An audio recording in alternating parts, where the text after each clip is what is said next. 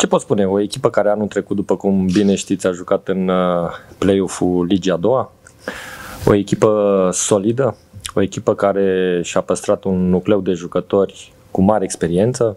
Aici aș enumera pe Mera, Scutaru, Accente, Ignea, jucători importanți pe care ei cu siguranță se bazează. Uh, am uh, văzut că au promovat și din centrul lor de copii și juniori mulți uh, jucători tineri interesanți. De aceea consider că plus transferurile care le-au făcut în ultima perioadă jucători cu mare experiență la nivelul Ligii a doua și chiar întâi, asta înseamnă că ne așteaptă un joc interesant, un joc pe care cred eu jucătorii mei sunt pregătiți să îl ia cu multă târzienie, multă determinare și cel mai important lucru e să obținem uh, punctele.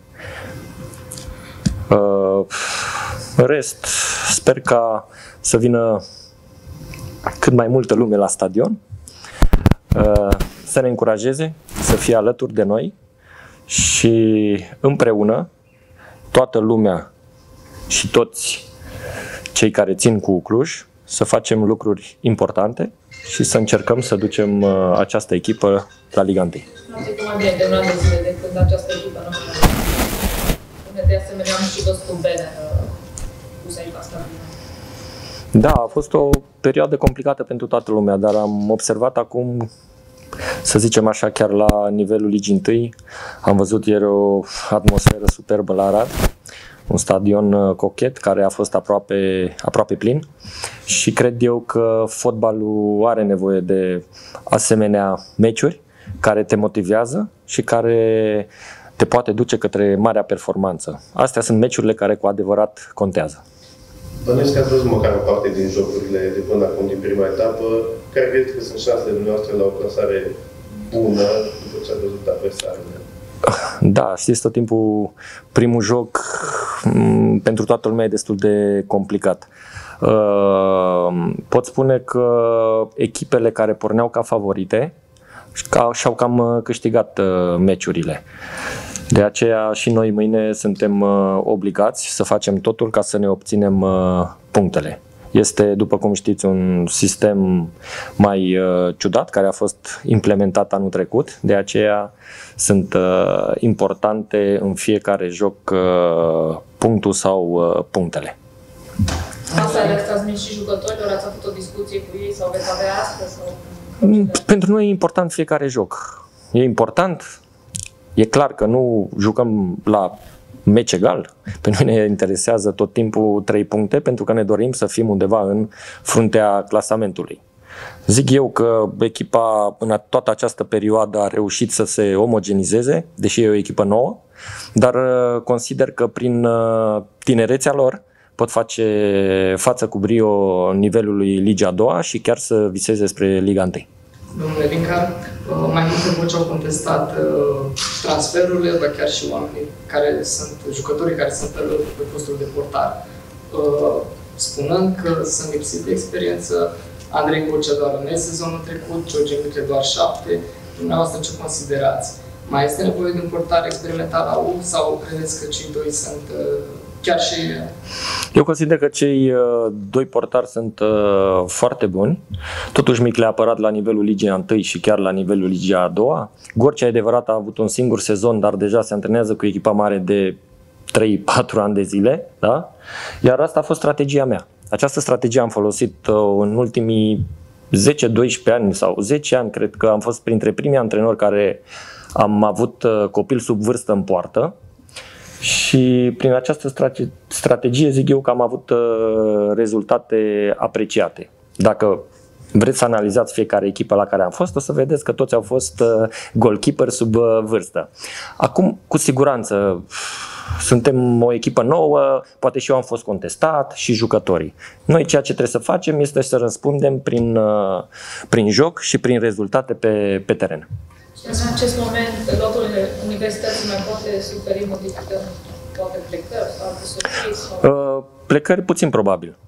Dar este adevărat, cum am declarat și acum uh, câteva zile, Uh, chiar am uh, reușit să, cred eu, să mai parafăm uh, un transfer, mai căutăm un atacant, dar orice e posibil. Până la data de 1 septembrie poate să apară orice jucător de care avem nevoie.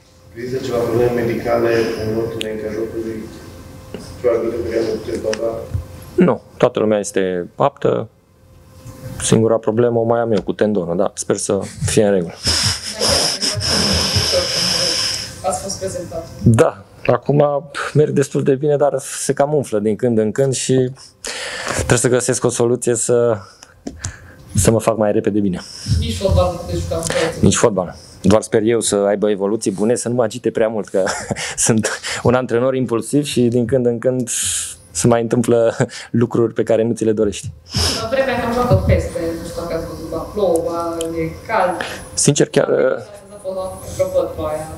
Chiar îmi pare rău, chiar îmi pare rău. Uh, sincer, eu săptămâna trecută chiar m-am uitat la vreme pe toată perioada asta și n-am văzut nicio zi să apară că va ploua. Dar am înțeles că cu asta e mai special Clujul, că ploaia vine așa pe neașteptate, exact. Pentru Victor, dacă aveți întrebări. Pentru, da, pentru, pentru Victor. Da, noi ne-am ales capitanii, avem trei capitani, primul este Gugu, al doilea este Dican și al treilea este Ispas. Atunci, din postură de al doilea capitan, care este mesajul tău înainte de debutul universității în nou sezon? Bună ziua, în primul rând, sunt nerăbdător. Chiar uh, am văzut că Uh, sunt 514 zile de când nu s-a mai jucat uh, pe Cluj Arena. Foarte mult. Uh, sincer, chiar abia aștept pentru că fotbalul cu suporteri e cu totul altceva. Sunt alte trăiri, alte emoții și e un sentiment plăcut. De aia zic, pentru mâine sunt foarte nerăbdător și am încredere în colegii mei că o să dăm totul pe teren acolo. Ce înseamnă pentru tine faptul că la o vârstă relativ fragedă poți banderola pe hospital? Te responsabilizează?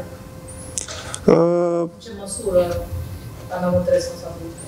Da, pot să zic că mă responsabilizează. E o mândrie să fiu capitan al Universității Cluj, al doilea capitan. Uh, în ce măsură mă responsabilizează? Uh, în, să am o colaborare bună cu colegii, cu colegii de echipă și o relație bună cu mister. Dar cel mai important e să arăt în teren. Să arătăm în teren, de fapt. Sezonul trecut ai mai mult în linia de trei fundași și acum am văzut că ai revenit cumva la mijlocul terenului. Ai reușit să te readaptezi rolului? Uh, eu primul an la Ucluj am jucat mijlocaș central, al doilea am fundaș central. Uh, e, e clar, fundaș central am jucat în ea de 3. Important e că am reușit să-mi atribui este două posturi și consider că e un atu pentru mine și pot să zic că da, m-am adaptat la nou post și la ce lui mister. Care e atmosfera în Uh, atmosfera e una bună. Îi văd pe băieți montați, motivați. Ce pot să zic? Uh, e... Meciul trebuie să fie sărbătoare și mâine asta sper că va fi. Victor, sezonul trecut ai fost uh, bine de fapt ultimele două sezoane a fost un fel de mijlocaș defensiv, ba chiar fundaș, golgheter la un. Anul acesta ați propun un target de goluri sau... Uh, sincer, nu mi-am propus niciodată un target din asta, tocmai datorită postului pe care îl joc. Uh, și nici anul ăsta nu pot să zic că am un target genul ăsta. Important pentru mine anul ăsta e să am evoluții cât mai bune și să ajut echipa cât pot de mult, să o ducem în Liga 1. E bine că începeți cu un meci acasă sau contează acest aspect? Mm, consider că da, mai ales că știu că după două, trei etape va trebui să ne mutăm și bineînțeles că e important să jucăm acasă pentru că suporterii la Oculus sunt foarte importanți.